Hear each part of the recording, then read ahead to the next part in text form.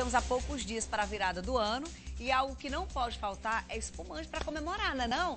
Ô, Thay, boa tarde. Tem no precinho para a gente comprar, amiga? Olha, Fernandinha, de acordo com o Procon PB, a diferença nos preços está variando por volta dos 40 reais. Mas Bastante. foi realizada uma pesquisa onde a gente pode encontrar espumante mais em conta.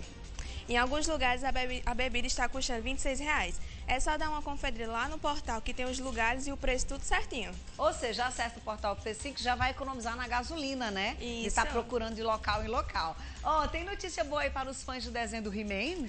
Tem sim um aumento nostalgia, Fernandinha. O desenho que era febre nos anos 80 vai ganhar uma série na Netflix.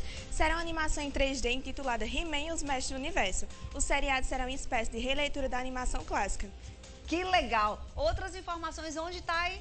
Lá no portal t5.com.br, que é tempo de não perder tempo. É isso aí. Inclusive no portal T5 tem absolutamente tudo atualizado sobre a Operação Calvário, todos os desdobramentos, né, o que foi dito, habeas corpus, enfim, tudo, tudo, tudo você acompanha lá em tempo real. Um beijo, lindona. Até amanhã. Ele já está